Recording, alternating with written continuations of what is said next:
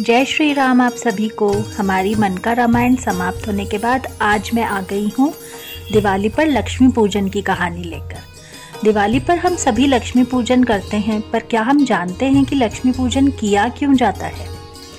अगर नहीं तो इस वीडियो को ज़रूर देखना।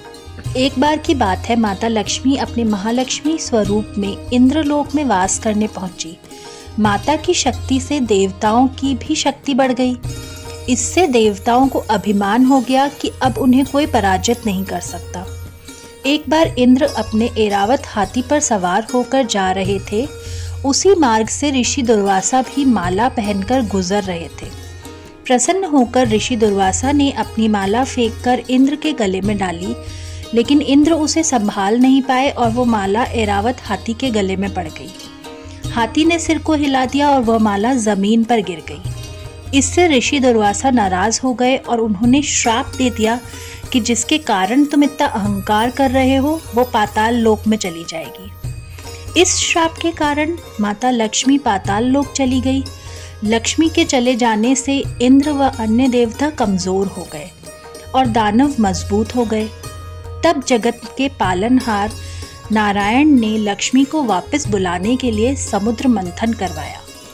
देवताओं और राक्षसों के प्रयास से समुद्र मंथन हुआ तो इसमें कार्तिक मास की कृष्ण पक्ष की त्रयोदशी के दिन भगवान धन्वंतरी निकले। इसलिए इस दिन धनतेरस मनाई जाती है और अमावस्या के दिन लक्ष्मी बाहर आई।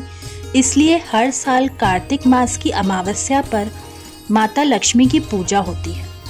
चूँकि इसी दिन श्री राम वनवास से लौटकर अयोध्या वापस आए थे और उनके आने की खुशी में लोगों ने घरों को दीपक से रोशन किया था, इसीलिए कार्तिक मास की अमावस्या पर दिवाली मनाई जाने लगी।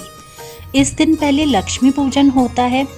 इसके बाद दिवाली की खुशी में घर को दीपक से रोशन किया जाता है। उम्मीद है आपको ये जानकारी अच्छी लगी होगी। कल के वीडियो में हम ये जानेंगे कि लक्ष्मी पूजन में लक्ष्मी माँ के साथ विष्णु जी की जगह गणपति जी क्यों विराजमान होते हैं? तो बने रहिए हमारे साथ।